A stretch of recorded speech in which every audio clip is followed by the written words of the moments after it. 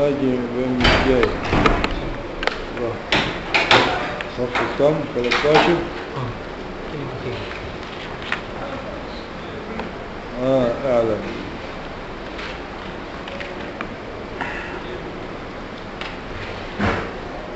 بسم الله الرحمن الرحيم الحمد لله رب العالمين وصلى الله وسلم على سيد الأولين والآخرين سيدنا محمد النبي الأمي وعلى آل بيته الطيبين الطاهرين وصحابته أجمعين والتابعين لهم بإحسان إلى يوم الدين. ربنا لا تزغ قلوبنا بعد إذ هديتنا وهب لنا من لدنك رحمة إنك أنت الوهاب. ربنا إنك جامع الناس اليوم لا ريب فيه. إن الله لا يخلف الميعاد وبعد. وقد وصلنا في حاشية العلامة الشيخ الحامدي على السنوسية الكبرى عند قوله رضي الله تعالى عنه اعلم شرح الله صدري وصدرك ويسر لنيل الكمال في الدارين أمري وأمرك. أن أول ما يجب قبل كل شيء على من بلغ أن يعمل فكره فيما يوصله إلى العلم بمعبوده من البراهين القاطعة والأدلة الساطعة إلا أن يكون حصل له العلم بذلك قبل البلوغ فليشتغل بعده بالأهم فالأهم. شين يعني إيه؟ الشرح. يبقى اذا اللي فوق ده مد ها؟ ممزوج بإيه؟ بالشرح. فعندما يقول شين يعني الشرح. شين. اقرأ يا شيخ محمد كده شين. بسم الله الرحمن الرحيم. قال في حاجة في صفحة 13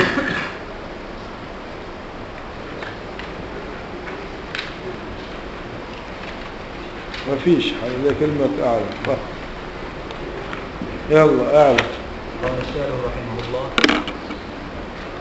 الكلام فيما يتعلق بالحمد والصلاة والسلام على النبي صلى الله عليه وسلم شهير شهير يعني مشهور يعني الكلام اشتهر ووجد كثيرا وبحث الكلام فيه فلا داعي لإيه؟ للتكرار. فلا نطيل به فلا نطيل به ولا يخفى هنا حسن مناسبة الدعاء بشرح الصدر الذي هو تهيئته لقبول المعارف نعم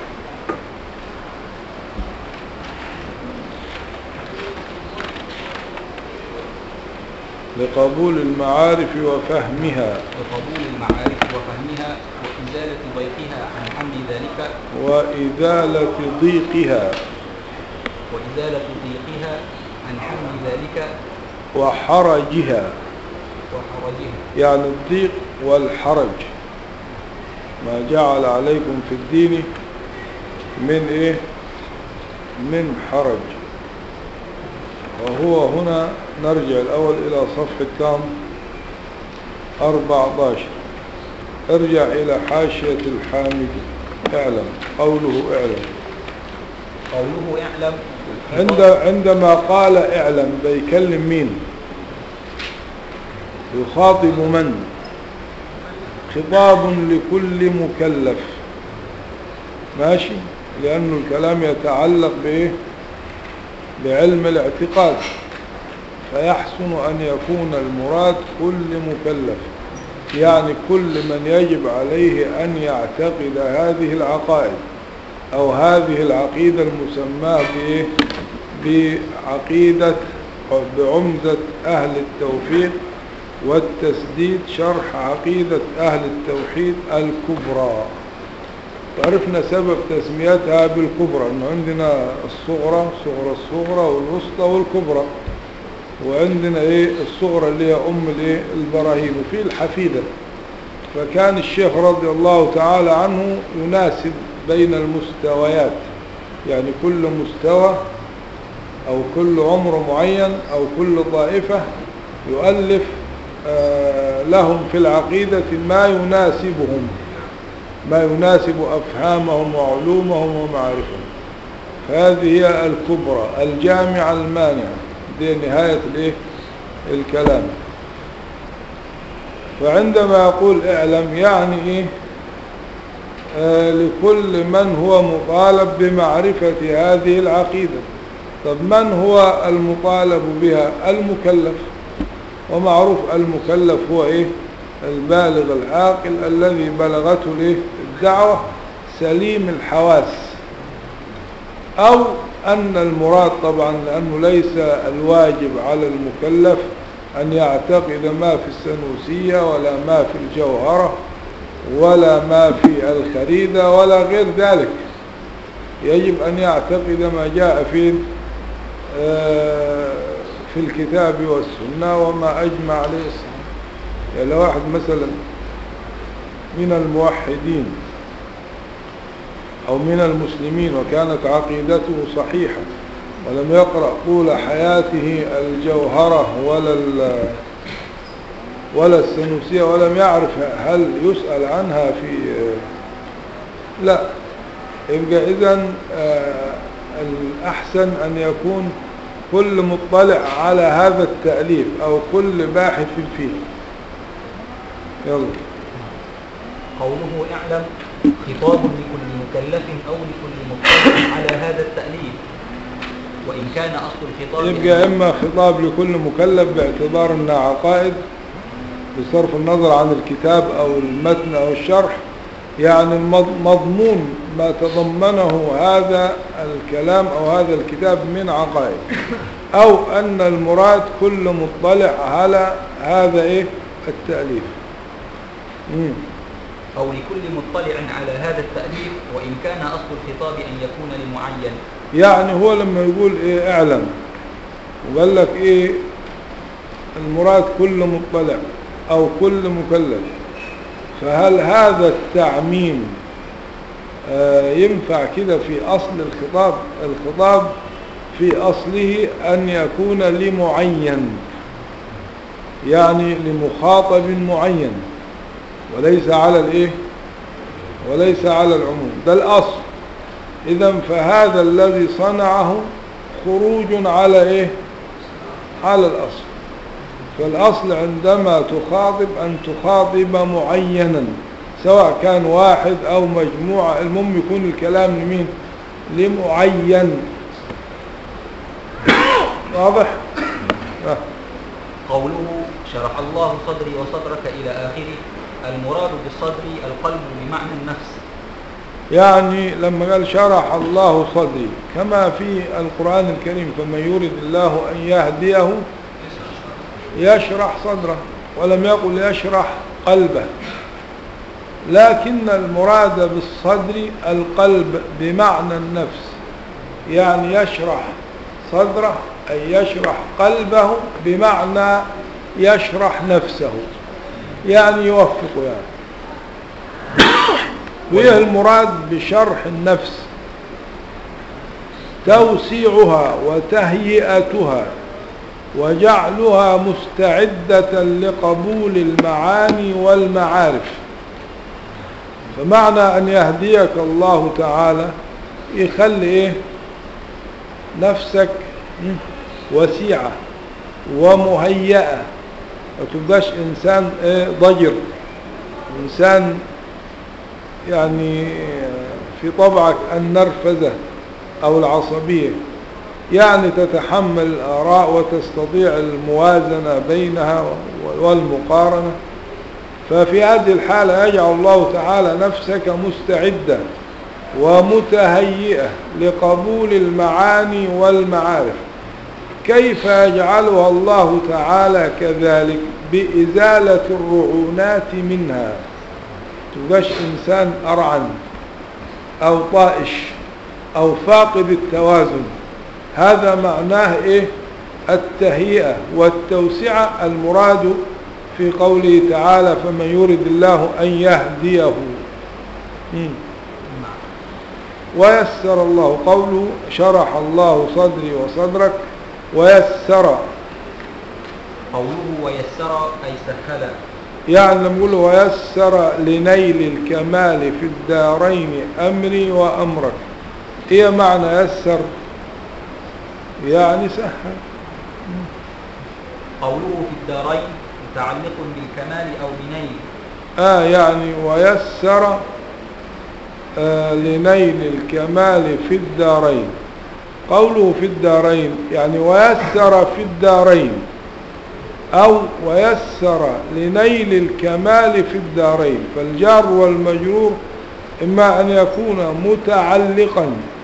بالكمال اللي هو في الدارين ده يعني الكمال يكون في الدارين أو النيل يكون في الدارين. خلاص كده؟ يعني إما الكمال أو نيل الكمال. قوله أمري أي حالي أي الأسباب المحصلة لنيل الكمال من إرادة الطاعات لما يقول. ويسر لنيل الكمال. في الدارين أمري وأمرك.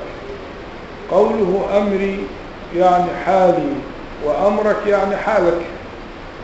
به معنى يسر الله لنيل الكمال في الدارين أمري وأمرك بمعنى حالي وإيه؟ وحالك يعني المراد هنا الأسباب الإيه؟ المحصلة لنيل الكمال. يعني الله تعالى يرزقني وإياك أسباب الإيه نيل الكمال أو أسباب الكمال. ما هي أسباب الكمال؟ من إرادة الطاعات والقدرة عليها. هذا بمعنى إيه؟ آه بمعنى التوفيق كما عرفه الأشعري بإيه؟ إيه التوفيق؟ تعريفه عندك؟ لا الأشعري قال قدرة. ولا الأشعري قال خلق الطاعة إنما مين اللي قال إذا إمام الحرمين اللي قال خلق قدرة الطاعة والداعية إليه. خلاص كده؟ يبقى خلق الطاعة أو خلق القدرة على الطاعة. قوله أن أول ما يجب معمول لقوله اعلم. يعني اعلم ده إيه؟ فعل إيه؟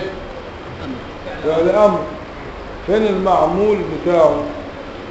الجملة آه اللي في محل نصب. أن أول ما يجب.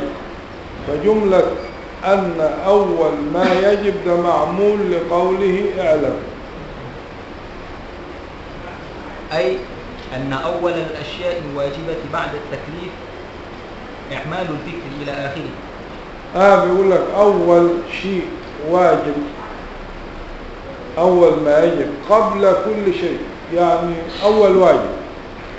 على من بلغ أن يعمل فكره فيما يوصله إلى العلم بمعبوده من البراهين يعني أن يعمل فكره فيما يوصله من البراهين القاطعة والأدلة الساطعة إلى العلم بمعبوده. وقوله قبل كل شيء أي قبل مزاولة كل شيء من أكل وشرب وصلاة وغير ذلك. قبل كل شيء يعني ما ينفعش يؤخر عن الإيه؟ عن هذا الواجب ما ينفعش يقدم على هذا الواجب أي واجب آخر. لا- لأنه شوف أي واجب آخر يعني زي أكل شرب صلاة صيام صدقة حج لأن جميع الواجبات الأخرى متوقفة على المعرفة. فلا يجب شيء على المكلف قبل المعرفة. وأفاد بقوله قبل كل شيء أن وجوب هذا الأمر فور أن وجوب هذا الأمر فوري يعني بيقول هنا إيه؟ قبل كل شيء يقول قبل أي قبل مزاولة كل شيء من أكل. لماذا جاء بكلمة أكل وشرب؟ والكلام هنا في إيه؟ في, في التكاليف في التكاليف. وبيتكلم فيما هو تكليف. فهل الأكل والشرب طب الصلاة إحنا مكلفين بها والصيام والحج طب والأكل والشرب جابوا ليه؟ لماذا أتى به؟ ما هو آه، لا البدن ده اللي هو مناط التكليف. لا يمكن أن يقوم من غير المقومات اللي هي الأكل فتكون واجبة لحفظ البدن. فلو تركها الإنسان ومات جوعا لكان إيه؟ قاتلا لنفسه وامتنع عن الطعام والشراب. فهذه واجبة. واجبة لحفظ إيه؟ لحفظ البدن. وليست واجبة من أجل الشره ومن أجل اللذة. لا الواجب هنا أما التلذذ ده شيء ثاني تفكه يدخل في إيه؟ في المباح فيما يدخل في المستحب. أما الواجب اللي هو يقوم به الأود يقوم به الإيه؟ البدن. لأنه لو هزل البدن ومرض لا يستطيع لا صلاة ولا صيام ولا يقوم بأي إيه؟ تكليف. وأفاد بقوله قبل كل شيء أن وجوب هذا الأمر فوري. قيل إن وجوب النظر وجوب الأصول فتاركه كافر. وأفاد بقوله قبل كل شيء أن وجوب هذا الأمر فوري. ما هو هذا الأمر؟ اللي هو إعمال الفكر فيما يوصلك إلى العلم بالمعبود من البراهين القاطعة والأدلة الصادعة فأفاد بقوله قبل كل شيء أن وجوب هذا الأمر فوري. يعني هذا لا يحتمل التأخير واجب على الفور. قيل إن وجوب النظر وجوب الأصول يعني هنا اختلفوا. يعني يعمل فكرة. ما معنى أن يعمل فكرة؟ يعني؟ إعمال الفكر معناه النظر أفلا ينظرون إلى الإبل كيف خلقت وإلى السماء كيف وإلى الجبال وإلى الأرض أفلم ينظروا إلى السماء؟ قل انظروا ماذا في السماوات والأرض. فالنظر ده واجب مش كده؟ لم يختلفوا في وجوب النظر.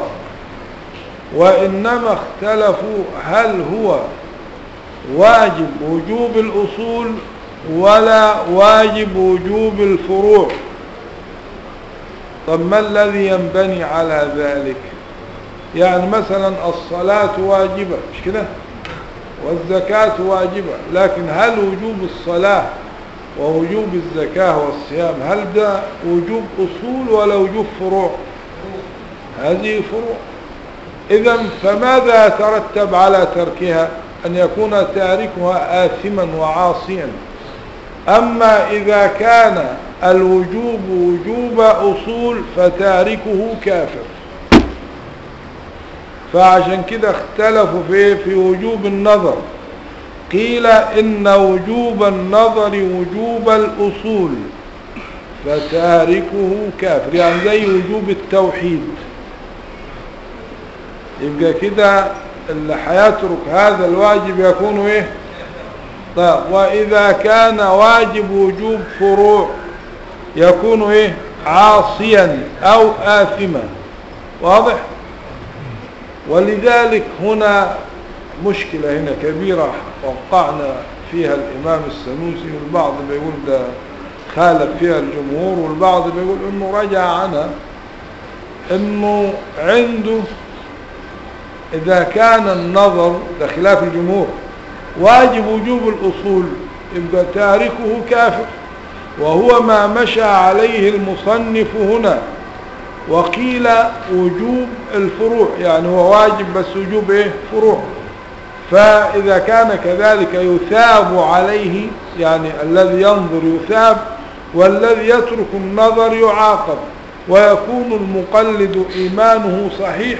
ولكنه عاص بترك النظر. أما إذا كان النظر واجبا وجوب الأصول فيكون المقلد كافرا. ده المشكلة إيه؟ اللي خالف فيها الإمام السنوسي إيه؟ الجمهور. عنده المقلد كافر. ليه؟ لأنه النظر واجب عنده وجوب الإيه؟ وجوب الأصول. أما الجمهور قالوا هو النظر واجب. ولكن المقلد إيمانه صحيح لأنه النظر ليس واجب وجوب أصول ده واجب وجوب فروع. فيكون الإيمان صحيح مع أنه عاصم بترك النظر. واضح؟ بس هذا كله مبني على إيه؟ هل هل النظر واجب وجوب الأصول ولا واجب وجوب الفروع؟ إذا كان وجوب فروع يبقى الإيمان صحيح ولكنه عاص بايه بترك النظر. أما إذا كان واجبا وجوب أصول فيكون المقلد كافرا. واضح؟ واضح؟ يلا شباب قيل إن وجوب النظر وجوب الأصول فتاركه كافر وهو ما مشى عليه المصنف هنا. وقيل وجوب مشى عليه هنا يعني قد يكون في في كلام ثاني أو في كتاب ثاني ولكن مش عارفين يعني من يقع على هذا ال- النص يأتينا به. وقيل وجوب الفروع فيثاب عليه ويعاقب على تركه والمقلد إيمانه صحيح. يبقى المقلد متى يكون إيمانه صحيحا؟ إذا كان الوجوب وجوب فروع أما إذا كان وجوب أصول لا. قوله على من بلغ أي وعقل يعني آه، افرض واحد بالغ ومجنون هل يجب عليه أن هو ما عندوش فكرة أصلا يعمل فكرة فين؟ جاء يبقى معنى من بلغ يعني وعقل هي شروط اكتفى إيه؟ ها؟ بالبلوغ ويريد يعني البلوغ والإيه؟ والعقل لأن العقل لا يأتي إلا عند البلوغ يعني لا يكتمل يعني. العقل له أول كمال وله إيه؟ تمام عند الأربعين. لكن أول كماله عند البلوغ. ونهاية كماله عند إيه؟ تمام الإيه؟ الأربعين. طب وبعد الأربعين؟ يبدأ يتراجع. ما تم شيء إلا بدا نقصه. توقع زوالا إذا ما قيل تم. إذا تمت عليك ال- النعمة ترقب إيه؟ هي كده آه، سنة الحياة. لأنه ما فيش حاجة ثابتة. في تمام يتبدل إلى نقصان في نقصان إلى وهكذا. مم. قوله فكره أي يكمل فكره أي قوته المفكرة. مم. يعني يعمل القوة المفكرة عن العقل. قوله فيما يوصله إلى العلم أي في تحصيل الدليل الذي يوصله إلى آخره فيما يوصله إلى إيه؟ العلم بإيه؟ بمعبوده من البراهين القاطعة والأدلة الساطعة. اقرأ قوله فيما يوصله إلى آخره أي في تحصيل الدليل الذي يوصله إلى آخره. لأن الإنسان أولا يعمل فكره فيأتي بالصغرى. يعني عرفنا فكره يعني؟ إيه؟ يعني القوة المفكرة فيما إيه؟ يوصله إلى العلم بمعبوده من البراهين القاطعة والأدلة الساطعة قوله فيما إلى آخره يعني في تحصيل الدليل الذي يوصله لأن الإنسان اولا يعمل فكره. طيب أول ما يبدأ عمل الفكر يأتي بالصغرى ثم يعمل فكره في الإتيان بالكبرى لأنه هيجيب إيه؟ مقدمتين صغرى وإيه؟ وكبرى. ثم يرتب بينهما يعني يجيب الصغرى وبعدين الإيه؟ الكبرى. ويلاحظ اندراج الحد الأصغر في الأكبر. خلاص؟ فحينئذ يوصله الله تعالى إلى النتيجة. أول حاجة إيه؟ يأتي بالصورة ثم يعمل الفكر في الإتيان بالإيه؟ بالكبرى ثم يرتب ويلاحظ اندراج الحد لأنه إذا لاحظ أن هذه مقدمة وأن هذه مقدمة دون أن يلاحظ اندراج الحد الأصغر في الأكبر بواسطة الحد الإيه؟ الوسط فلا يمكن يصل إلى النتيجة. لازم من هذه الإيه؟ الملاحظة. آه ثم إن في الكلام حذفا. والأصل يعني عاوز يقول لك في الكلام هنا على كل من بلغ أن يعمل فكره فيما يوصله إلى العلم بمعبوده من البراهين الأصل فيما يوصله إلى العلم بمعبوده والتصديق به. هذا يعني ليس فقط أن نعمل الفكرة في الوصول إلى العلم فهذا غير كافي إنما العلم والتصديق. لأنه كثيرا من الناس وصلوا إلى العلم لكنهم لم يصدقوا بدليل قوله تعالى يعرفونه كما يعرفون إيه؟ أبناءهم وإن فريقا منهم لا يكتمون الحق وهم يعلمون. فوصلوا إلى العلم لكن لم يصلوا إلى إيه؟ فلأجل هذا قال إن في الكلام إيه؟ حذفا. يعني الأصل فيما يوصله إلى العلم بمعبوده والتصديق به هذا ويصح؟ هذا ويصح إرادة الدليل الأصولي. يعني يعني لما قال أن يعمل فكره فيما يوصله إلى العلم بمعبوده من البراهين القاطعة والأدلة. ما المراد بالدليل؟ هل الدليل اللي هو في المنطق اللي هو أشار إليه اللي هو آه يتركب من مقدمتين ويلاحظ اندراج الصغرى في الكبرى ولا الدليل اللي هو الأصولي. ولذلك بيقول لنا ويصح إرادة الدليل الأصولي. أما الذي ذكره قبل ذلك فهو الدليل المنطقي. إيه الفرق بين الدليل الأصولي والدليل المنطقي؟ أن الدليل الأصولي مفرد أما المنطقي مركب. يتركب من مقدمتين. إما أما الدليل في الأصول مفرد مش مركب. فيصح إرادة الدليل بالمعنى اللي في المنطق اللي هو إيه؟ مقدمتين والنتيجة. ويصح إرادة الدليل الأصولي وهو مفرد. ك؟ اقرأ ويصح إرادة الدليل الأصولي وهو مفرد يبقى إيه الفرق بين الدليل في المنطق والدليل في الأصول؟ أن الدليل في الأصول ها يكون مفردا. أما في المنطق لا بد أن يكون مركبا من مقدمتين على الأقل. ويصح إرادة الدليل الأصولي وهو مفرد كالعالم طيب لما يكون الدليل مركب يعمل فكره يعني إيه؟ يعني ينظر في الصغرى وبعدين ينظر في الكبرى ثم يرتب بينهما ويلاحظ اندراج الحد الأصغر في الأكبر فيصل إلى الإيه؟ إلى المراد طيب كيف يمكن أن يعمل فكره في المفرد أه؟ وهو مفرد كالعالم وإعمال الفكر فيه بالنظر إلى جهته وحملها يبقى إذا كان الدليل مفردا زي إيه؟ العالم. أو العالم دليل على وجود الله صح ولا؟ لا؟ طب كيف أعمل الفكر في الوصول من هذا الدليل اللي هو المفرد إلى وجود الله؟ قالوا إعمال الفكر فيه بالنظر إلى جهته.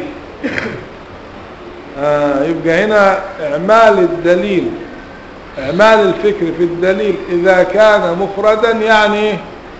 يعني أن ننظر في جهة الدلالة فمثلا أنظر إلى جهته اللي هي الحدوث خلاص كده؟ يعني العالم هو الدليل هو العالم مفرد. فأنظر إلى جهته يعني أنه حادث. ثم أحملها عليه. يعني أجعل العالم موضوع والجهة محمول. فأقول العالم حادث. يبقى أصبح هنا إيه؟ مركب. يعني هو مفرد.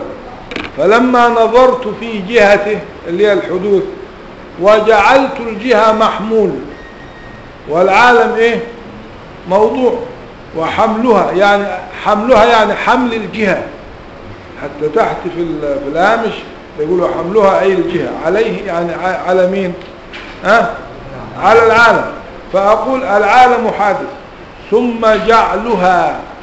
يعني نجعل الجهة موضوع. الأول جعلناها محمول العالم إيه؟ خليكم معايا. آه، جعلنا الجهة محمول العالم. هعكس دلوقتي. هخلي الجهة محمول. وأجيب لها إيه؟ هخلي الجهة موضوع. واحمل عليها المطلوب. فأقول كده العالم حادث ثم جعلها موضوعا ويحمل عليه يعني على الموضوع المطلوب. نحو وكل حادث لا بد له من صانع. فهنا عملت إيه؟ أول حاجة المفرد. وأجيب الجهة أخليها إيه؟ محمول ثم أجعل الجهة موضوعا. وأحمل عليها المطلوب. فأصل إلى إيه؟ إلى المراد. كيف ذلك؟ شوف كده. العالم حادث. هنا إيه؟ المفرد والجهة. فأروح أقول إيه؟ وكل حادث. خلت هنا إيه؟ الجهة. خلتها موضوع. لا بد له من صانع. ده المطلوب. فأجعله إيه؟ محمولا. على إيه؟ على الجهة التي جعلتها موضوعا وقبل ذلك كانت إيه؟ محمولة. فعندما ارتبها كده العالم حادث وكل حادث لا بد له من محدث فما هو المطلوب؟ أو كل حادث لا بد له من صانع فما هو المطلوب؟ أن العالم له صانع. وضحت ولا ما وضحتش؟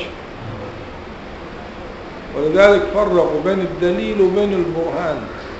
البعض قال البرهان والدليل واحد ده يعتبر إيه؟ مترادفان. والبعض قال لا البرهان لازم يكون مركب من مقدمات أما الدليل يمكن يكون مفرد. وهذا مصطلح مين؟ مصطلح الأصوليين أن الدليل مفرد. والمنطقيين أن الدليل إيه؟ مركب واضح؟ يلا.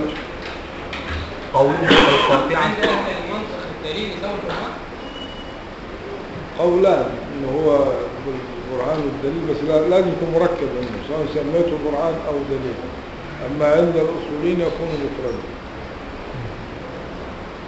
قوله القاطعة أي المقطوع بها أي بمقدماتها ووصف البراهين بالقاطعة. كاشف. يعني عندما قال البراهين فيما يوصله إلى العلم بمعبوده من البراهين القاطعة فهنا بيقول إيه؟ أي المقطوع بها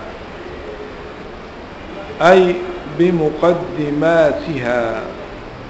يعني إيه معنى المقطوع بمقدماتها؟ يعني تكون المقدمات يقينية مقطوعا بها. ووصف البراهين بالقاطعة كاشف. ليه؟ لماذا قال ووصف البراهين بأنها قاطعة كاشف؟ من يوم؟ وصف البراهين بأنها قاطعة. بيقول يعني هل, هل هو فيه براهين قاطعة وفي براهين غير قاطعة؟ لا. البراهين لا تكون إلا قاطعة. لأجل هذا قال وصف البراهين بالقاطعة وصف كاشف لأنه ما فيش برهان قاطع وإذا كان برهان لا يكون إلا قاطعا. هذان برهانان من قاطع. حية صعبة عزيزة. واضح كده؟ فلما قال هنا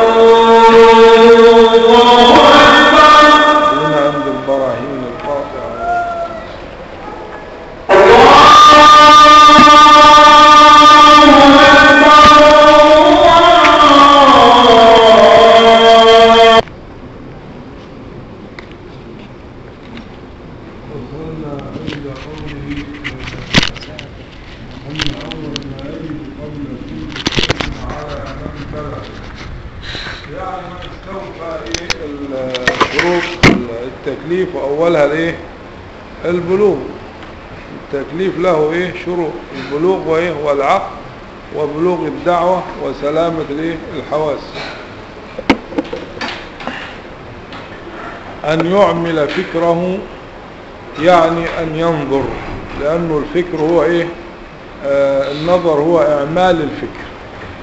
فيما يوصله يعني يعمل فكره آه فيما يوصله إلى العلم من البراهين القاطعة والأدلة الصادعة إلى العلم إيه؟ أن يعمل فكره فيما يوصله من البراهين القاطعة والأدلة الصادعة إلى العلم بمعبوده. خلاص كده أتار التركيب الايه الجملة فيها تقديم وإيه وتأخير. إلا أن يكون حصل له العلم بذلك قبل البلوغ. يعني هو هذا الواجب لا يجب عليه إلا بعد البلوغ. أما إذا علمه بإلهام أو بكشف أو بوسيلة أخرى غير النظر وإعمال الفكر. يبقى عليه إذا بلغ أن يعمل فكره في إيه؟ آه أن يشتغل بعده خلاص لأن هذا الواجب تم تحصيله فيكون إعمال الفكر فيه بعد ذلك تحصيل إيه؟ حاصل. عليه أن يشتغل بإيه أن يشتغل بالأهم فالأهم. يعني إيه أهم حاجة بعد التوحيد؟ أهم حاجة معرفة الإيه بقية أركان الإيمان. أهم حاجة بعد كده العبادات الأهم بعد كده التفاق وهكذا. الأهم فالإيه يعني رتب الإيه؟ الترتيب الأولويات. يلا يا شيخ محمد. قوله القاطعة المقطوع بها. يعني عندما قال القاطعة قال ده وصف كاشف. ليه؟ لأنه إذا كان برهان لا يكون إلا قاطعا. ما فيش برهان غير قاطع. ها؟ ووصف البراهين القاطعة كاشف. قوله الساطعة أي المرتفعة. كلمة القاطعة يعني ها؟ وصف كاشف القاطع عن المقطوع بها وقوله البراهين القاطعة إن وصف البراهين بأنها قاطعة ووصف الأدلة بأنها إيه؟ ساطعة. خلاص كده؟ الساطعة أي المرتفعة. وما معنى كون الأدلة مرتفعة؟ يعني المراد مش الارتفاع المراد لازم الارتفاع وهو الظهور. يعني يلزم من زي مثلا الخطيب يوم الجمعة بيكون في مكان مرتفع فيلزم من وقوفه على هذا المكان المرتفع اللي هو المنبر أن يكون ظاهرا. لأنه لو لم يكن مرتفعا إيه لا يكون إيه ظاهرا فالظهور هنا بمعنى العلو كما في قوله تعالى هو الذي أرسل رسوله بالهدى ودين الحق ليظهره. يعني ليعليه على إيه؟ على الدين كله. والمراد بالعلو هنا علو الحجة والبرهان. يبقى المراد لازم الارتفاع وهو الظهور. يعني عاوز يقول لك الأدلة ظاهرة خلاص؟ لا خفاء فيها ما فيهاش لبس ما فيهاش تعقيد ما فيهاش مثلا يعني شيء يعني يحير العقول شيء ظاهر وواضح لكل من يفهم. طب البعض إذا كان البراهين اللي هي تدل على صحة الإسلام وعلى صدق النبوة إذا كانت قاطعة وإذا كانت الأدلة عليها ساطعة فلماذا آمن البعض ولم يؤمن البعض الآخر؟ مدامت الحكاية في غاية الوضوح وفي غاية القوة إيه اللي خلى الناس ما ما أمنتش؟ ها؟ قد تنكر الإيه؟ ها. العين إيه؟ ضوء الشمس من رمد وينكر الفم طعم الماء من في مرض. في القلوب في عناد في كبر في عصبية في عمى.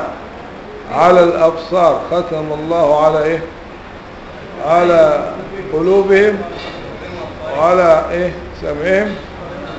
وعلى أبصارهم غشاوة. ده اللي خلاهم إيه؟ ما شايفينش يعني وليس يصح في الأذهان شيء إذا احتاج النهار إلى دليل. الدليل واضح زي الشمس.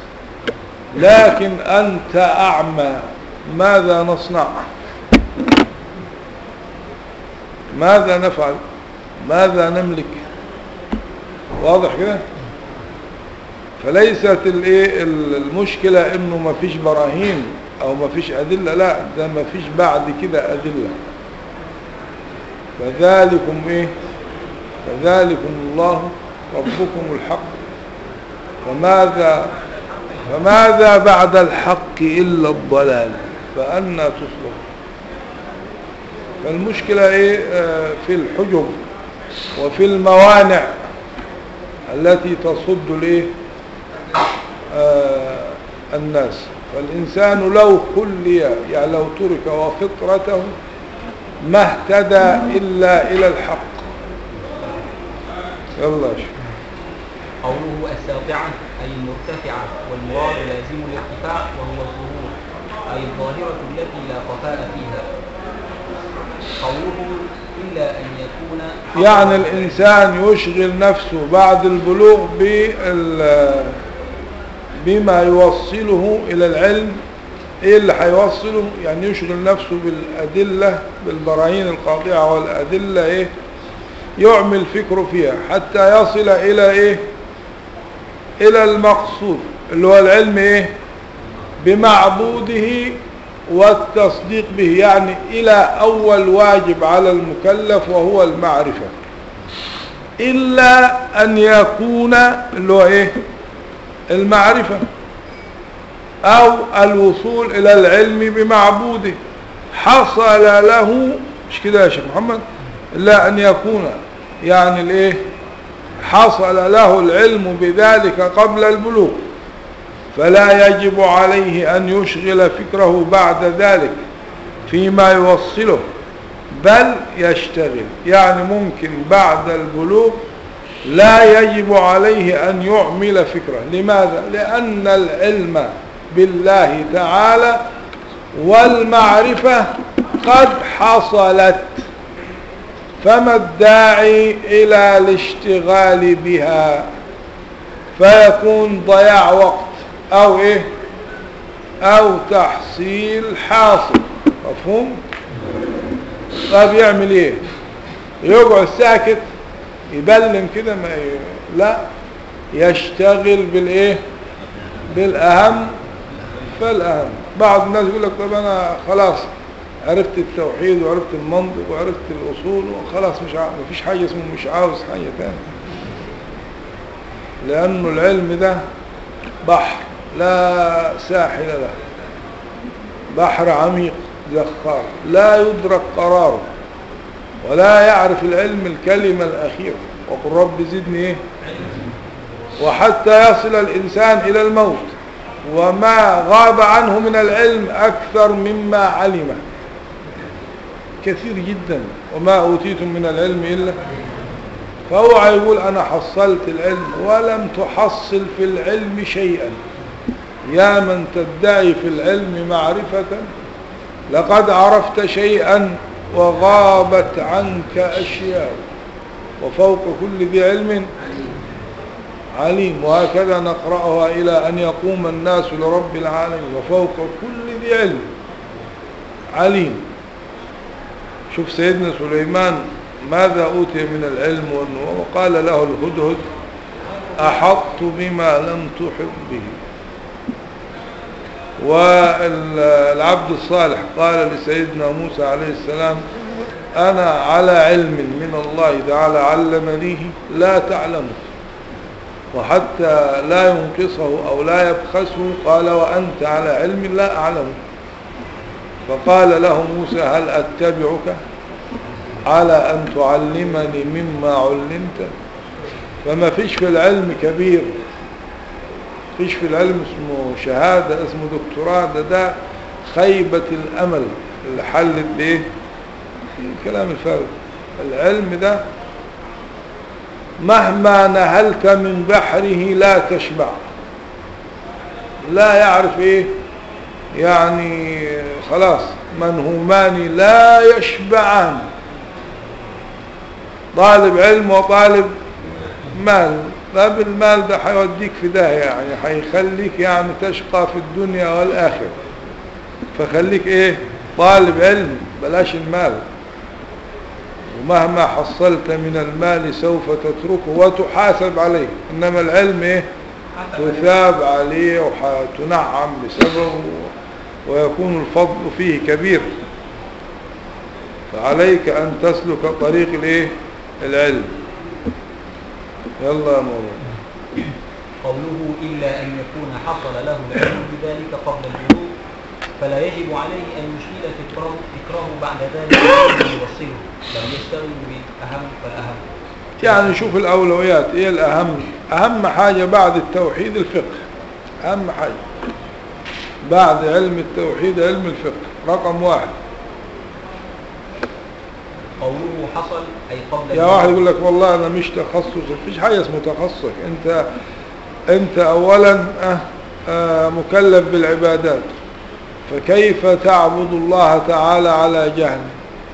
كيف لا تعرف آه، شروط الصلاة وأركانها وفرائضها والواجبات والمكروه ونواقض الوضوء والأشياء دي؟ كيف لا تعرف ما يبطل الصيام؟ كيف لا تعرف أحكام الزكاة؟ كيف تحج في ثلاثة أرباع الحجاج يحجون ولا يعرفون لماذا يذهبون؟ في ناس بتفتكرها رحلة. سمعت واحد في في التلفزيون بيقول يعني نشكر قائمين بيجيبوا كده ناس بيجيبوا ناس كده عوام. إيه رأيك في المشاريع والسعودية وحقق فيقول يعني أنا حاجة جميلة وخدمات للحجاج جليلة. تبيه ال- كلمة تقولها للناس تنصح الحجاج بايه قال أنا أنصح أي واحد يريد الحج يذهب إلى السعودية. كأنه يعني يظن إنه البلاد كل بلد فيها بس بيقول هنا أفضل إنه الخدمات هنا أحسن. ما تروحش فرنسا لا تحج في مثلا واشنطن تعالى حج. كأنه مش عارف أصلا وكثير من الناس يقلدون لا يعرفون المناسك. ماشيين مع واحد كده زي إيه؟ يعني قطيع كده ماشيين مع بعض يقول لهم يعني آه لا إله إلا الله يقولوا يقول لهم مثلا آه لبيك لا شريك لك يقولوا إلا شريكا هو لك يقولوا معاه ما يعني زي ما يقولوا فلازم يكون في وعي وفي تبصرة. فلا يعرف مناسك الحج إلا هو رايح المطار. يقول للناس أعمل إيه؟ خدوا له كتاب بتاع ابن باز وابن روح يكتب. يا أخي ما نطبع كتب عندنا والأزهر فقير ما يطبع ويطلع. وقوله حصل أي قبل البلوغ. وقوله وبعدين الناس تموت بالآلاف في في في منى. عشان فتوى. إيه ده؟ مين يتحمل هذه الدماء؟ لازم قال الرمي في وقت من قال هذا فين الفقه؟ الفقه فين؟ في هذه الحالة يعني يجوز مش ترك الرمي ترك الحج كله. الحج كاملة إن كان الإنسان حيتلف أو تهلك نفسه وقوله حصل أي قبل البلوغ وقوله بذلك أي بمعبوده. آه يعني إلا أن يكون حصل له ذلك قبل الإيه؟ قبل البلوغ. وقوله بذلك يعني العلم بذلك أي بمعبوده. قوله بالأهم.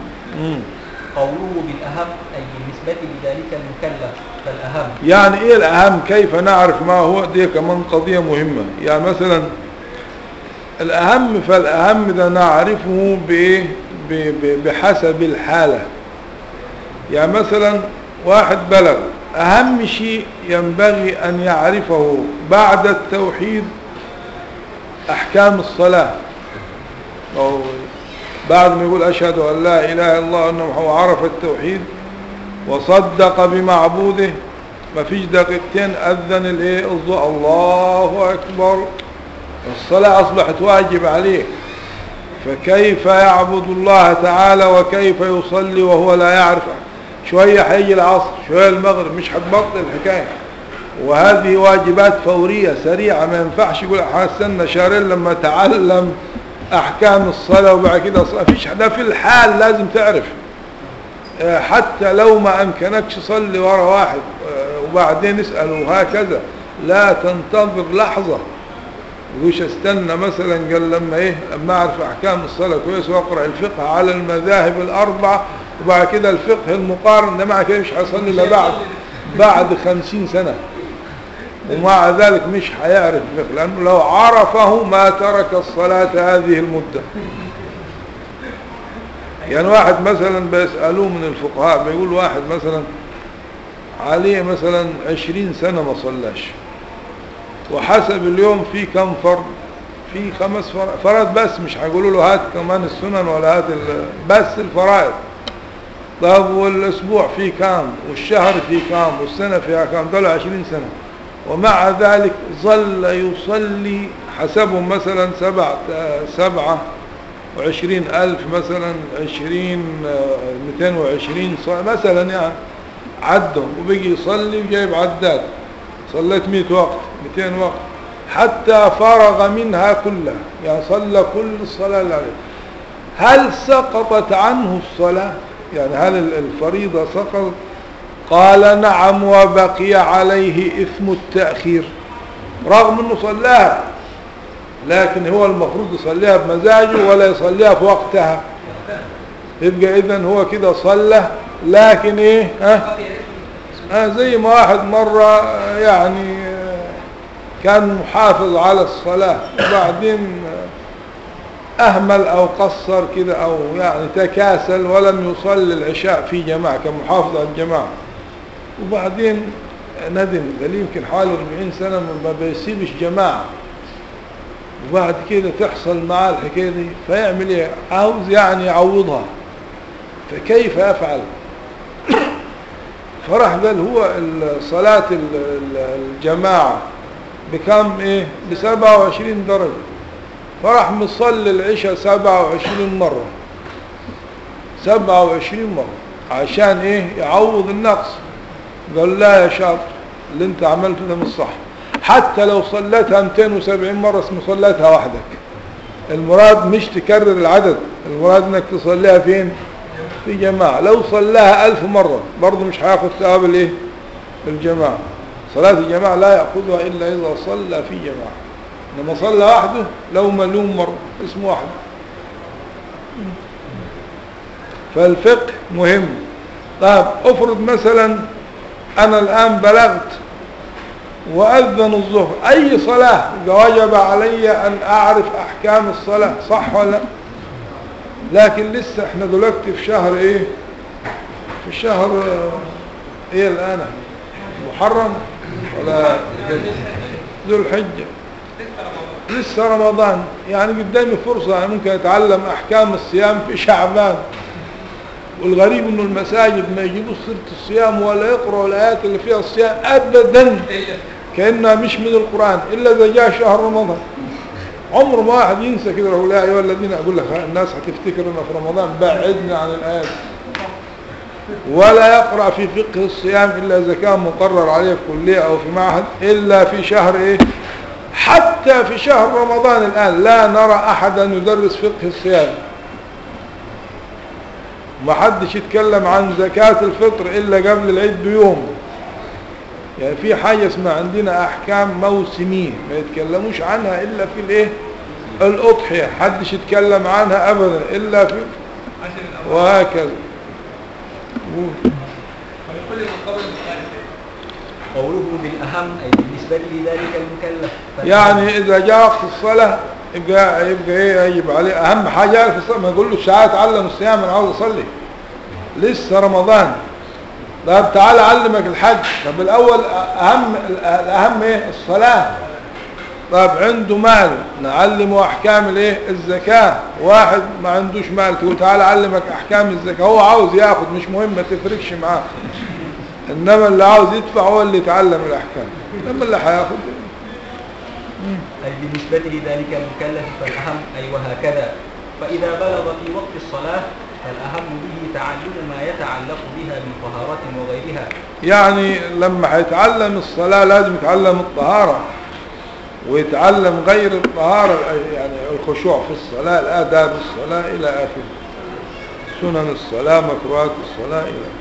وإذا بلغ في وقت الصوم فالأهم في حقه تعلم ما يتعلق به وهكذا. ويعني إذا ناخذ ليه كل حالة بما يناسبها. قوله بالحمد والصلاة والسلام إلى آخره. آه لما بيقول الكلام فيما يتعلق بالحمد والصلاة والسلام. قوله بالحمد يعني الحمد والصلاة والسلام على سيدنا رسول الله والترضي على مين؟ على الصحابة. آه. والترضي. أي والتردي ومعنى الاتباع. قوله فلا نطيل به. أي فلا نذكره حتى نطيل بذكره آه ومعنى الاتباع قوله فلا نطيله يعني لما أتكلم في الحمد آه، لله والصلاة على النبي والترضي على الصحابة ومعنى الاتباع يعني إيه الصحابة والتابعين يعني إيه معنى الاتباع؟ آه قوله فلا نطيل به يعني هذا الكلام آه لأنه ذكر في مباحث وكتب كثيرة فالإطالة فيه ليست إيه مستحسنة لأنه مع يعني كأنه بيقول لك أن هذا قد حصلته فلنشتغل به بما بعده. شهير أي مشهور. شهير يعني مشهور ده شهير فعيل بمعنى إيه؟ مفعول. شهير يعني مشهور. قوله ولا يخفى إلى آخره. وجه المناسبة أن هذا الفن يبحث عن أهوال ذات الإله وأحوال ذات الإله غير مألوفة بالصدر إحنا فين دلوقتي قوله ولا يخفى ولا يخفى هنا حسن مناسبة ولا يخفى هنا حسن مناسبة الدعاء بشرح الصدر الذي هو تهيئته لقبول المعارف. يعني عاوز يقول لك هنا لما دعا دعا لماذا دعا؟ قال إيه؟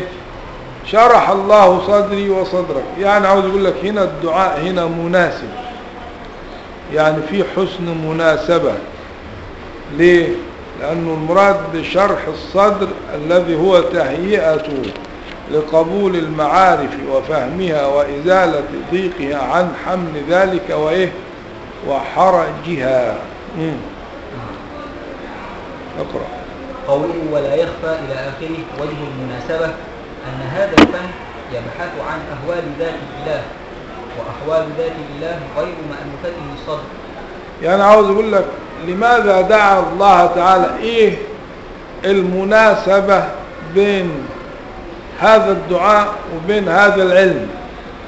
قال لك أصل هذا العلم يبحث عن أحوال ذات الإله. وأحوال ذات الإله غير مألوفة للصدر فيضيق عن تحملها لأن الوهم ينازع فيها ويريد أن يثبت لله ما هو مألوف. يعني الوهم ينازع العلم يعني العلم ينزه الله تعالى. أما الوهم يثبت لله تعالى ما هو مألوف من التجسمات والتشكلات والتغيرات. ونحو ذلك.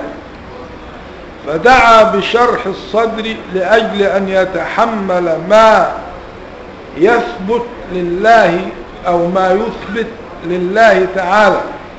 وإن كان تصدير الكتب بهذا الدعاء وإن كان تصدير الكتب بهذا الدعاء غير معهود للمصنفين. يعني ده مش من عادة المصنفين أن يصدروا كتبهم بهذا الدعاء.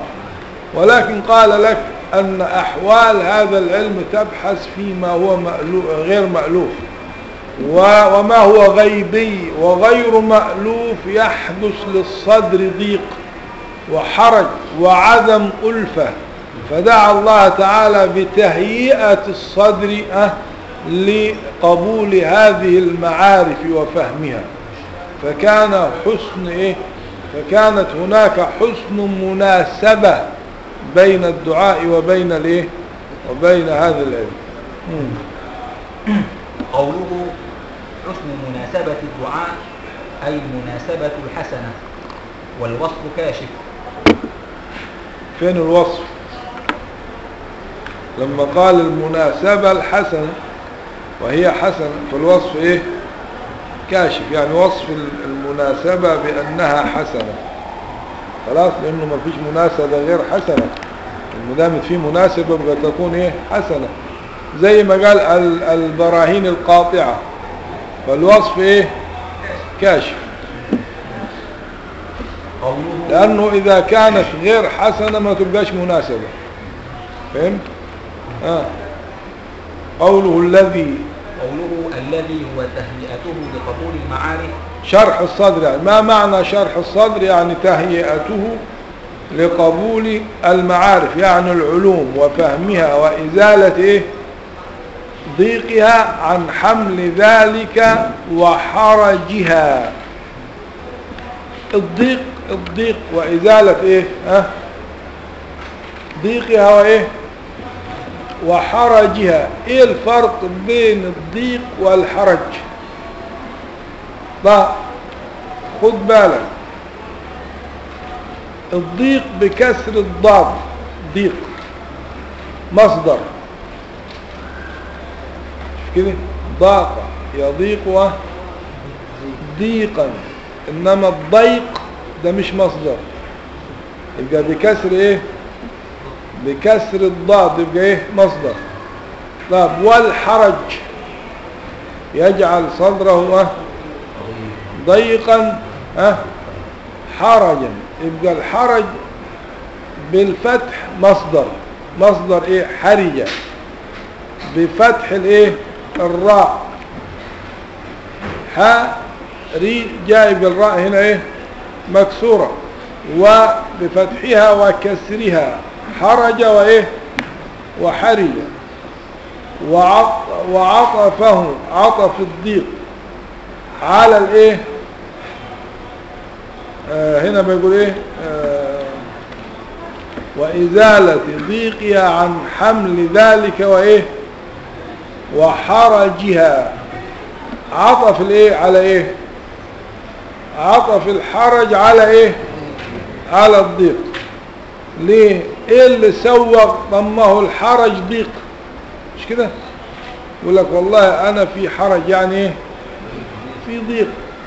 طب لما الحرج ضيق والضيق حرج إيه معنى عطف أحدهما على الآخر؟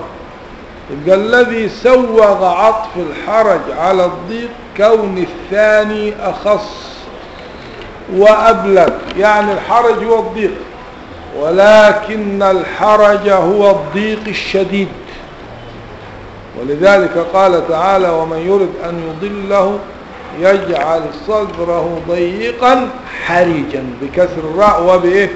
وبفتحها. ضيقا حرجا وضيقا إيه؟ حرجا. كأنما إيه؟ يبقى معنى كده الحرج والضيق بمعنى واحد. إلا أن واحد فيهم خاص والثاني عام. فعطف الخاص على العام. يعني كأن المراد بالحرج الضيق الشديد وليس مجرد إيه؟ ضيق.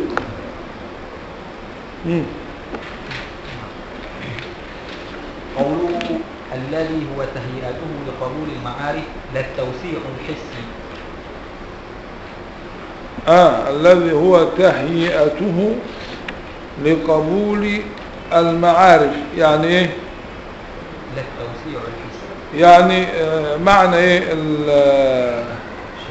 شرح الله صدري وصدرك. يعني جعله شرح مش معناها التوسيع الحسي يعني خلى إيه؟ صدرك كبير لا. إنما المراد إيه؟ جعله واسعا توسيع معنوي مش توسيع حسي.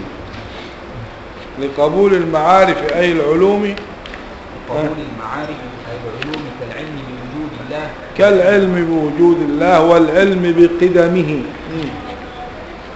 قوله وفهمها عطف على قبول. آه وفهمها يعني قبول المعارف وفهمها. مم. أي تهيئته لفهم المعارف بمعنى المعلومات على الاستخدام هي معنى تهيئته يعني شرح الصدر يعني تهيئته لقبول تهيئته لفهم المعارف والمراد بالمعارف المعلومات على طريقة الاستخدام. يعني إيه طريقة الاستخدام؟ عارفين الاستخدام؟ يعني يذكر إيه؟ اللفظ اللي هو يحتمل إيه؟ معنيين. ثم يعيد الضمير عليه بأحد المعنيين. خلاص كده؟ يعني زي ق- كما في قوله تعالى فمن شهد منكم الشهر. المراد بالشهر هنا إيه؟ الهلال. عندما قال فليصمه يبقى أعاد الضمير عليه بمعنى الأيام يعني الثلاثين يوم أو التسعة وعشرين. يبقى هنا كلمة الشهر لها إيه؟ لها معنيان. الهلال والشهر هو المدة. طب لما قال فليصمه لا لما قال شهد الشهر يعني هل الشهر يشاهد ولا ولا اله- الهلال الذي يشاهد؟ فاستخدم كلمة الشهر في المعنى الايه؟ الثاني بإعادة الضمير على المعنى إيه؟ الثاني. فكذلك عندما قال تهيئته لفهم المعارف بمعنى المعلومات على إيه؟ على طريقة آه الاستخدام على الاستخدام وإزالة قوله وإزالة فيها عطف سبب. عطف سبب على التهيئة. يعني عاوز يقول إيه؟ سبب الإزالة هو إيه؟ هو التهيئة. لأنه إذا هيأ الله تعالى صدرك ووسعه لقبول المعارف أه وفهمها فقد زال عنه الضيق والحرج. فده يعتبر عطف إيه؟ سبب على إيه؟ في عندنا سبب وعندنا مسبب. قوله وإزالة ضيقها إلى آخره أنث مع أن المرجع وهو الصدر مذكر. يعني لماذا قال وإزالة ضيقها ولم يقل وإزالة ضيقه شو بيتكلم عن شرح الصدر؟ فكان المفروض إيه؟ مذكر فلماذا أنث؟ مع أن المرجع وهو الصدر مذكر. مراعاة لكونه بمعنى اللطيفة الربانية. يعني ليس المراد بالصدر اللي هو إيه؟ العظم ولا القفص الصدري ولا الجهاز التنفس وإنما أراد إيه؟ اللطيفة الربانية واللطيفة الربانية مؤنثة ولا مذكرة. فلأجل هذا أنف لأنه أراد بالصدر القلب وأراد بالقلب اللطيفة الربانية يعني السر. مم. قوله عن حمل ذلك أي القبول والفهم والفهم. أي والمراد بحمله الاتصاف به. وعبر عنه بالحمل إشارة إلى نقل ذلك عليه. وإزالة ضيقها عن حمل ذلك يعني إيه معنى حمل ذلك؟ يعني قبول القبول المعارف وفهمها. فأراد بالحمل القبول والفهم. أي والمراد بحمله الاتصاف به. وعبر عنه بالحمل أه إشارة إلى إيه؟ إلى إيه؟ لا إلى ثقل ذلك عليه. ما دام حمل يبقى إيه؟ ثقيل. يا شيخ محمد مالك وكان عندك يعني المعية راحت فين؟ ذهبت إلى ماليزيا للزواج فلم ترجع بها. مش بها يعني بالزوجة بها يعني بإيه بالألمعية وعبر عنه بالحمل إشارة إلى ثقل ذلك عليه. آه يبقى عبر عنه بالحمل إشارة إلى ثقل ذلك عليه. يعني ده إيه؟ آه شيء ثقيل. والحرج أشد الضيق فهو من عطف الخاص. والحرج أشد الضيق يعني الضيق الشديد زي ما قلنا. الفرق بين الحرج وبين الإيه؟ ها؟ وبين الضيق. لما أقول لك لا كما قال الله تعالى ولا تكن في إيه؟ في ضيق. مش كده؟ لما لما أقول لك ولا تكن في حرج مش كده؟ يبقى معناها إيه؟ يعني في ضيق شديد. يلا. والحرج أشد الضيق فهو من عطف الخاص والمراد هنا يعني من عطف الخاص على إيه؟ على العام. والمراد هنا بالضيق الرعونات البشرية المانعة من إدراك المعارف. يبقى المراد بكلمة الضيق اللي هي الإنسان اللي عنده رعونة اللي عنده طيش لا يدرك عواقب الأمور. المراد هنا بالضيق الرعونات البشرية المانعة من إدراك المعارف. فبيه المراد إذا كان المراد بالضيق الرعونات. أمال إيه المراد بالحرج. في إنسان أرعن ولكنه رعونة خفيفة لكن في إنسان أرعن متربس كده يعني قفل كده. ده إيه؟ أرعن شديد أو ده الإيه؟ الحرج اللي هو الشديد الرعونة الشديدة. قال المصنف رحمه الله قوله أن أول ما يجب أي شرعا وإنما لم أقيده بذلك كما وقع في الإرشاد وغيره. يعني هو بيقول أول ما يجب مش كده؟ قال هات كده العبارة بتاعته اللي قبل الشرح أول ما يجب قبل كل شيء مش كده؟ قبل الصفحة اللي قبلها في أول سطر أول ما يجب. هل قال هو الشيخ له ال- المتن وله أيضا الشرح ففي المتن لم يقل أول ما يجب شرعا يعني لم يقيد ذلك بكلمة إيه؟ ولكنه قيد في الشرح. مش كده؟ فقال إيه؟ وإنما لم أقيده بذلك. يعني هو في الشرح فسر مش قيد قال أي شرعا وإنما لم أقيده بذلك. إيه معنى لم أقيده بذلك؟ يعني لم يقيد أن هذا الوجوب شرعي. فتحها كده خلاها إيه؟ ما قيدهاش بالشرع. كما فعل أو كما وقع في الإرشاد. الإرشاد بتاع مين؟ إمام الحرمين. في الإرشاد إمام الحرمين قيد قال أول ما يجب شرعا والشيخ أه خليك معاي. لم يقيد هذا اللي هو أول واجب لم يقيده بالشرع. لماذا؟ يعني هو هذا هل الشيخ السنوسي يرى أن هذا الوجوب بالعقل. لا ده هيكون إيه؟ هيكون من المعتزلة. فهو عنده أيضا إيه؟ واجب شرعي. طب لماذا لم يقيده بالشرع؟ وإمام الحرمين في الإرشاد قيده. شوف النكتة بتاعة الإمام السنوسي. قال إنما لم أقيده بذلك كما وقع في الإرشاد وغيره يعني وغير الإرشاد يعني وقع في كتب أخرى.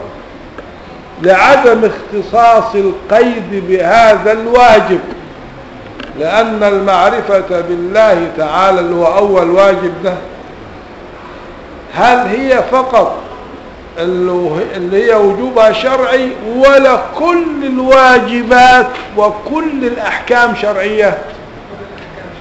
يبقى إذا لماذا أقيد أول واجب بأن الوجوب فيه شرعي؟ مع أن الأحكام كلها إنما تثبت عند أهل السنة بالشرع. فلأجل هذا لم يقيد لأنه هذا أمر مع معلوم ومعروف أن الأحكام كلها ثبتت بإيه؟ بالشرع. فما فيش داعي نقيد واحد منها ونترك الباقي. فإذا كان هناك تقييد يبقى لازم نقيد في كل حكم. فلأجل هذا ترك الإمام السنوسي إيه؟ ده بيجي واحد يقول لك ال- بتاع الإمام الحرمين الإرشاد لماذا لم يترك كما ترك السنوسي؟ لأن الخلاف بيننا وبين المعتزلة لم يقع إلا في هذا الواجب لأنهم لم يقولوا الصلاة هي حكم لم يقولوا إنها وجبت بالعقل. ولم يقولوا عن الأحكام الأخرى إنها إنما النزاع بيننا وبينهم في هذا في هذا الحكم بخصوصه. فلهذا يحسن أه أو حسن فعل من قيد وحسن فعل من ترك التقييد. فمن تركه أه تركه لمعنى وهو إيه؟ إنه الأحكام كلها ثبتت بالشرع. فلماذا نأتي في حكم واحد ونقول شرعا؟ والآخر نظر إلى أن المشكلة بيننا وبينهم في إيه؟ في هذا الواجب بخصوصه أو في هذا الحكم بخصوصه. واضح؟ يلا. قوله أن أول ما يجب أي شرعا وإنما لم أقيده لذلك كما وقع في الإرشاد وغيره لعدم اختصاص القيد بهذا الواجب بل الأحكام يعني الأحكام كلها كلها كل الأحكام بما فيها إيه؟ بما فيها المعرفة. مش كده؟ ثبتت بإيه ثبتت عند مش مش بالشرع عند مين؟ عند أهل السنة. ثبتت بالشرع وبعدين؟ ها؟ وحكمت المعتزلة فيها العقل. وسيأتي إن شاء الله تعالى الرد عليهم في محله. إلا. إلا إيه؟ إلا أنهم خصوا هذا الموضع باعتراض. إلا أنهم خصوا هذا الموضع باعتراض. اللي هو إيه؟ ما هو هذا الموضع؟ اللي هو وجوب النظر أو وجوب المعرفة. اعترضوا فقالوا إن وجوبها لم يثبت بالشرع وإنما ثبت بالإيه؟ بالعقل والشرع كاشف أو مؤيد. يبقى إذن وإنما لم أقيده بذلك كما وقع في الإرشاد وغيره لعدم إيه؟ اللي مش فاهم كلمة يسأل فيها لعدم اختصاص القيد بهذا الواجب. ما هو القيد؟ وما هو الواجب؟ اللي هو وجوب النظر اللي هو أول واجب. بيقول لك لأنه الأحكام كلها بما فيها حكم النظر الموصل إلى المعرفة إنما ثبتت عند أهل السنة بالشرع. مش كده؟ طيب سؤال هنا. كيف نقول أهل السنة إنه الأحكام كلها ثبتت بإيه بالشرع. طب هنا لم يأتي الشرع بعد. ده لسه أنا بنظر بأعمل فكري عشان أصل إلى العلم بمعبودي من خلال الأدلة والبراهين فكيف يكون هذا الحكم كيف يكون وجب بالشرع مع إنه أنا لسه ب- حاصل إلى إيه؟ الشرع لسه لم أصل إليه. الشرع يعني إيه؟ يعني الشرع يعني يعني النصوص يعني الأدلة الشرعية. يعني مثلا الوجوب اللي هو مثلا زي وأقيموا الصلاة زي هل هل هل المراد بالشرع هو الأحكام الشرعية؟ لا. ومن هنا جاء إيه؟ سوء الفهم. المراد بالشرع بعثة الرسل وليس الأحكام الشرعية. يبقى المراد هنا لأنه يعني عاوز يقول لك الأحكام كلها ثبتت ببعثة الرسل. يعني لولا أن الله تعالى أرسل رسله ما ثبت أي حكم يبقى المراد بالشرع؟ يبقى يفهم المصطلحات. المراد بالشرع هنا بعثة الرسل. وليست الأحكام الشرعية. فلو أردنا بالشرع يعني أحكام الشريعة فيصبح الكلام لغو لا معنى له. فيكون الأحكام كلها بما فيها الوجوب واجبة بالأحكام الشرعية وهذا دور. يعني لو كان المراد بالشرع الأحكام الشرعية يبقى معناها الأحكام الشرعية ثبتت بالأحكام الشرعية هذا كلام فارغ. إنما المراد أن الأحكام الشرعية بما فيها وجوب النظر ثبتت بواسطة الرسول لا بواسطة العقل. كده في دور؟ لا. إنما منين جاء الدور؟ لما فهمنا أن الشرع يعني أحكام الشريعة. هذا خطأ في الفهم. جيدا افهم المصطلحات. عندما قالوا أي أهل السنة إن الأحكام وجبت بالشرع فالمراد به بعثة الرسل وليس رسول بعينه أي رسول؟ وما كنا معذبين حتى إيه؟ حتى نبعث رسولا. يبقى هي معنى الأحكام ثبتت عند أهل السنة بالشرع. يعني إيه الشرع؟ ها؟ بعثة الرسل وليس المراد بالشرع يعني الأحكام الشرعية. ولو كان المراد ذلك لكان الكلام له ملوش معنى. كأننا نقول الأحكام الشرعية ثبتت بالأحكام الشرعية. هل ده كلام ينفع؟ هل ده كلام عاقل؟ كيف تثبت الأحكام الشرعية بالأحكام الشرعية؟ طيب الوجوب. الوجوب حكم شرعي. كيف ثبت الوجوب؟ ثبت بالوجوب فهم فيها وسيأتي إن شاء الله تعالى الرد عليهم في يعني لو قلنا الأحكام الشرعية واجبة بالأحكام الشرعية خد بالك ده من الأحكام الشرعية الوجوب. لأنه الأحكام الشرعية كام؟ خمسة أو عشرة الأحكام التكليفية خمسة والوضعية عشرة. كيف نقول الأحكام الشرعية التي منها الوجوب؟ واجبة بالأحكام الشرعية. هنا يحدث الايه الخلل ويجي المعتزل يضحك عليك يقول لك يا بني آدم هو أصلا كان لسه في شرع عشان تقول ثبتت بالشرع ومن هنا إيه؟ خصوا اللي هم مين؟ آه المعتزلة. هذا الموضع اللي هو إيه؟ وجوب النظر قال وجوب النظر أنتم بتقولوا يا أهل السنة وجوب النظر ده وجب بالشرع. وإحنا هنقول لكم لا ما ينفعش. عيب عليكم.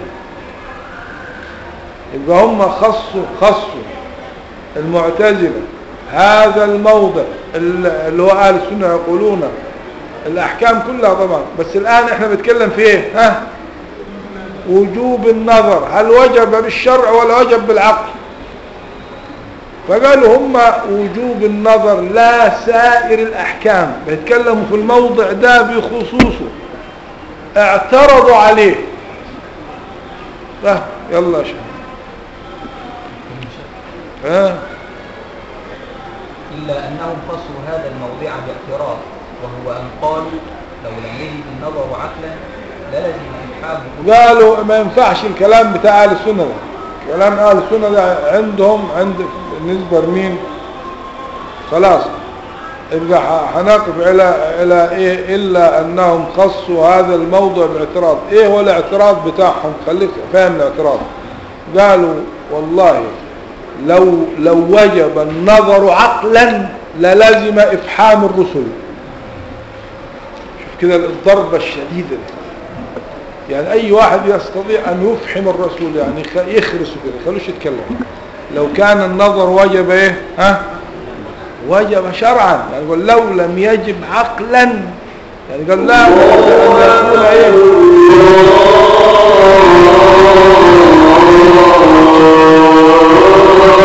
أن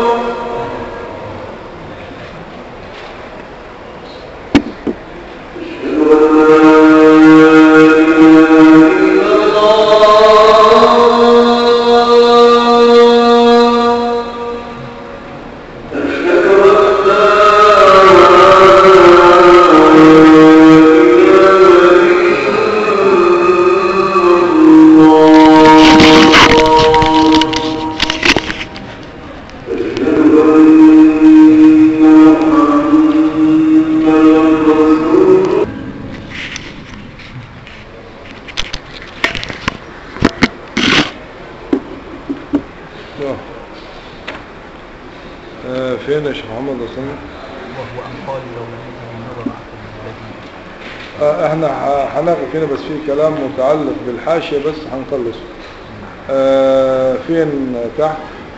قوله كما وقع في كما وقع في الإرشاد إلى آخره. راجع للمنفي. فين المنفي؟ أه؟ قوله كما وقع في الإرشاد إلى آخره. راجع إلى الإيه؟ إلى المنفي. فين المنفي؟ وإنما لم لم أقيده. خلاص كده؟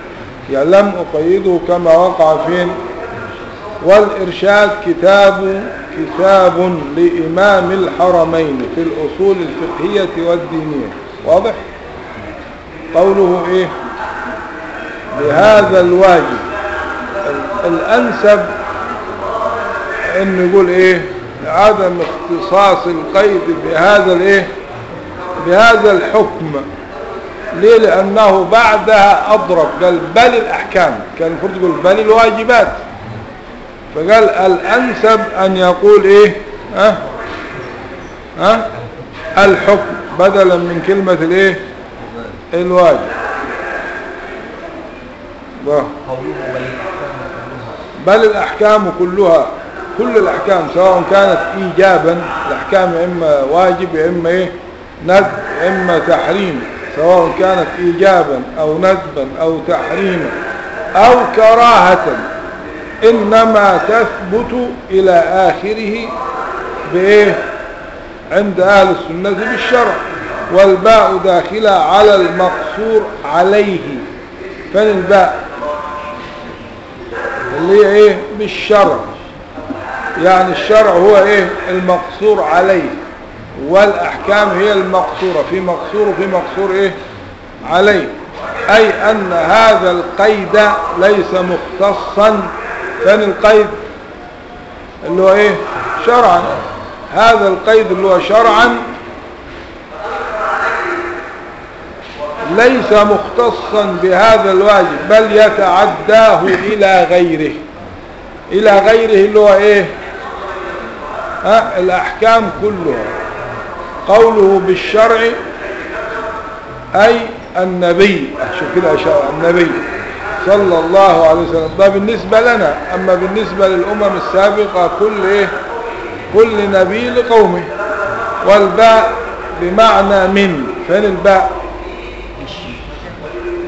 يعني الأحكام ثبتت عند أهل السنة من الشرع لأن المراد بالشرع النبي فتكون ثبتت منه. وليس ثبتت به به. طيب كمل والباء بمعنى من متعلقة بتثبت بمعنى تعلق آه لا آه إنما تثبت آه بل الأحكام آه كلها إنما تثبت يعني تعلم. تعلم.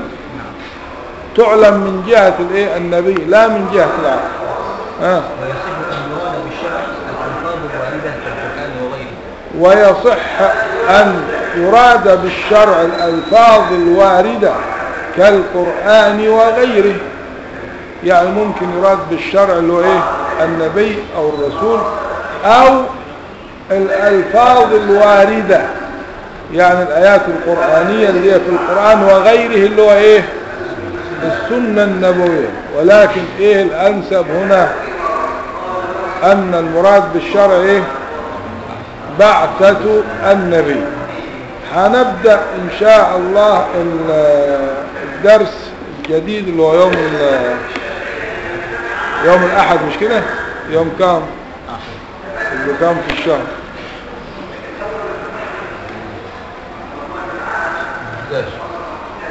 داشر يوم 11 10 هنبدأ من أول وحكمت. خلي بالك كده. وحكمت المعتزلة فيها الايه؟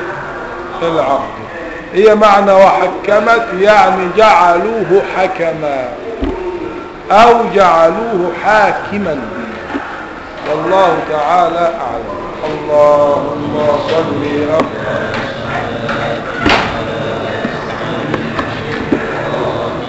سيدنا محمد وعلى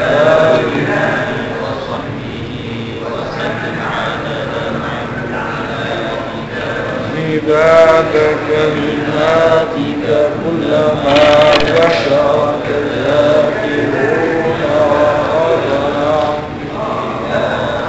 اللهم ارحمني أفضل أسعى المخلوقات